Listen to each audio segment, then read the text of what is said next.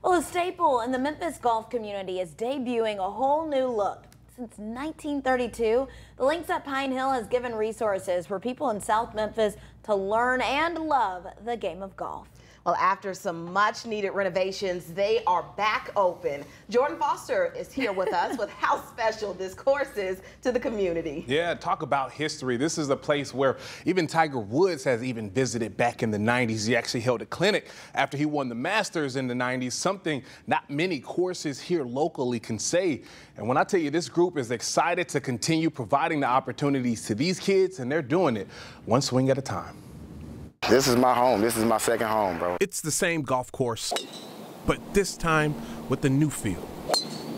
There we go. Oh, it's totally different. It's uh, beautiful as far as just the eye goes. The Links at Pine Hill has provided thousands of rounds for golfers of all ages, backgrounds, and skill levels in the 91 years it's been here in South Memphis. As a junior golfer, I started playing at the age of 10 hit my first golf ball on this property. So I've spent countless hours here. So it's, it's like sacred ground. So sacred, William Key returned to run the place. He's currently the facility manager and has overseen all of the new renovations to happen here since they started construction back in November 2021. The fairways are brand new. All the greens are brand new. Um, a couple of them, we got five or six brand new holes that have never been seen. Some of the new features include two new lakes, new hole locations, and even a new driving range. Tough.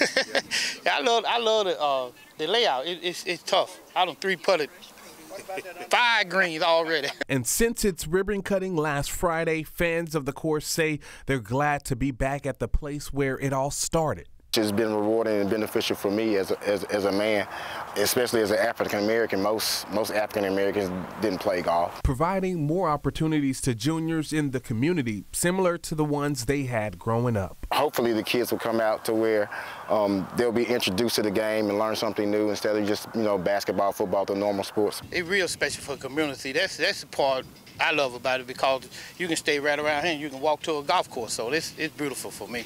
I love it. When do you think you'll be back? Next week. Yeah, he'll be back next week, but unfortunately, the newly opened course, they don't have any tee times available to the public just yet. They plan to fully open, though, sometime within the next few weeks. They're getting ready for that buzz. A lot of people are excited to get out there, Aaron and Yvonne. So we going, Jordan? Listen, oh, by the way, I don't know if you all know, fun fact for you all back at home, Aaron used to golf. And so did Jordan. Yeah, yeah, we used to We're both a little golfers. Little See, that's cool. Too. Yeah, he was no. telling us in the break that he used to teach kids. Yeah, so yeah. talk kids and um, it's crazy full circle moment. I taught kids in the summer.